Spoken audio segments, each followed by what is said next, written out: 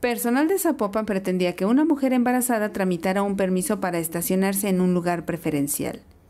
El usuario de Twitter, Alex de León, se quejó en redes sociales de la atención que recibió su esposa, quien iba por un medicamento pero la multaron.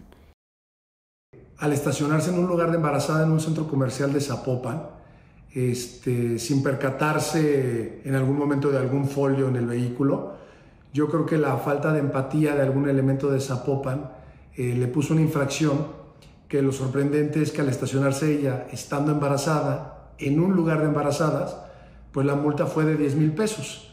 Cuando nos percatamos de esto, creo que ya era demasiado tarde, te repito, no había noción de un folio. Al intentar aclarar el asunto, las autoridades les mencionaron que existe un permiso para estar en un lugar para embarazada.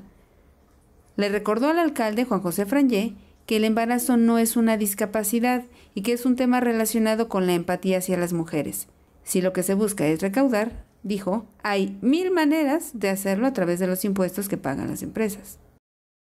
Franje, yo creo que como campaña tenemos que buscar equidad y congruencia. Y te invito a que de verdad esos argumentos que hablamos hoy, de hablar de erradicar el abuso de género, sobre todo en estos tiempos donde la mujer se ve muy afectada, también hablemos de que la mujer puede ser afectada por un abuso de poder de este tipo. Tras hacer pública la queja en redes sociales, el mismo presidente municipal de Zapopan le ofreció ayuda. Luego el personal de movilidad municipal indicó que daría seguimiento a la multa cancelada. UDGTV Canal 44, Elizabeth Ortiz.